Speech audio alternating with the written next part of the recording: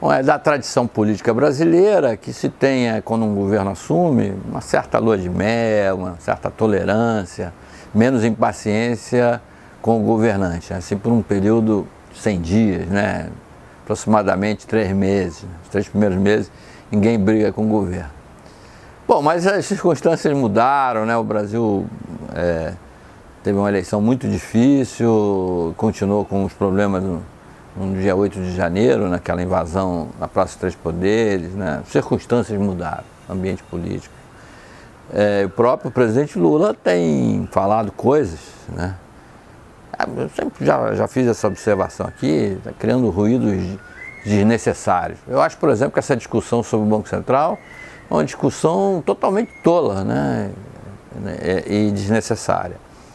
Primeiro, porque o Brasil não está inventando a roda com essa história de Banco Central ter autonomia, Banco Central independente. Essa é uma, é uma experiência consagrada internacionalmente. Né? Desde a crise da Alemanha nos anos 20, né, hiperinflação lá, é, e se viu da importância de ter uma autoridade monetária que tem autonomia, tem independência para cuidar da moeda. Né? A experiência do Banco Central Alemão, do Banco Central da Inglaterra e especialmente do Banco Central Americano. Bancos centrais erram, as autoridades monetárias erram, tem aí na história econômica tem vários casos de decisões é, que foram tomadas erradas. Mas a, tem sido mais positiva a ação do Banco Central Independente na preservação da moeda do que esses bancos centrais que ficam à mercê do governante do momento. Né? E qual é a independência do Banco Central? É simplesmente ter um mandato, né? um mandato que não coincida exatamente com o mandato do governante daquele momento. Né? Isso gera uma, uma, uma, Ele não possa ser tirado, ser demitido pelo presidente da República ou pelo ministro da Fazenda. É, no entanto, o Banco Central, tanto aqui como em outros países, ele segue regras, ele segue, ele obedece ordens. Né? No Brasil, por exemplo, a gente adotou o regime de metas de inflação. Então o Banco Central, a ação dele é voltada para quê? para que a gente tente, né? A gente está numa economia de mercado, não é na planificação, é, os preços não estão mais tabelados, então você tem que agir no lado da moeda do crédito para que essa inflação é, convija para as metas. Meta essa que tem um alvo central e tem uma tolerância para baixo e para cima. Bom, é, quem é que fixa essa meta? Não é o Banco Central. O Banco Central simplesmente é um dos participantes no negócio chamado Conselho Monetário Nacional, onde estão representados lá é, ministros de Estado, né? Ministros de Estado estão representados lá na área econômica.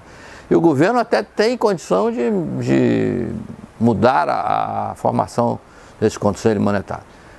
Então, se assim o, o Banco Central está agindo de uma forma que o governo discorda para atingir as metas, o que está errado? É a ação do Banco Central ou as metas estão sendo muito ambiciosas? Pode ser, a gente, essas metas foram fixadas em outro momento da, da, da economia mundial, né?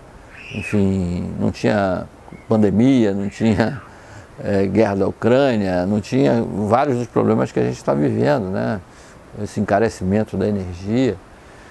De qualquer maneira, quer dizer, por que, que as metas estão é, nessa faixa aqui, ligeiramente acima do, da média de inflação dos, das economias mais avançadas, porque a gente sabe muito bem que uma inflação acima de 5% desorganiza muito a economia e afeta especialmente o poder de compra da população e da população mais humilde. Então, é, é, é, é, não é tolerável mais uma inflação que seja acima de 4% ao ano. A gente admitiu isso aqui nessa época da pandemia, teve que ter feito um ajuste no ano passado ainda, mas daqui para frente temos que buscar realmente uma inflação é, igual ou inferior a 4% ao ano, nem que seja daqui a dois anos. Então eu, não entendo essa briga. Eu quem me acompanha, quem me acompanha no jornal, quando eu escrevia no Globo ou na Globo News, quando eu, sabe que eu sou um crítico severo do, do excesso da taxa de juros. Acho que eu, a autoridade monetária às vezes adota uma, uma taxa excessiva, fica muito tempo com essa taxa.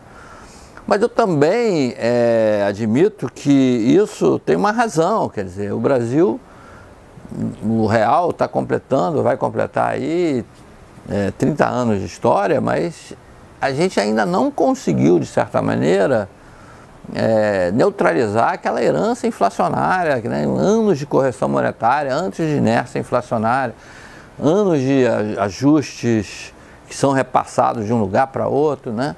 Isso tudo fica num, quase no inconsciente coletivo, né? A população que viveu a inflação ainda não morreu. Né? Eu estou aqui, por exemplo, né? vivi a, a brasileira. É, então acho essa uma discussão tola. Acho que o presidente está perdendo tempo com isso, criando briga com, desnecessária no lugar errado. Ele tem todo o direito de criticar a taxa de juros alta, mas aliar isso à questão da independência do Banco Central, mudar no Congresso, mandar a lei, aí criar uma confusão no Congresso à toa. É, quem é que atribui isso? Aí vai ser uma análise meio freudiana, né? Acho que o presidente ainda está é, vivendo uma fase rancorosa da vida pelos tempos difíceis que ele passou, da prisão, processos, a, crítica ao governo, a oposição feita.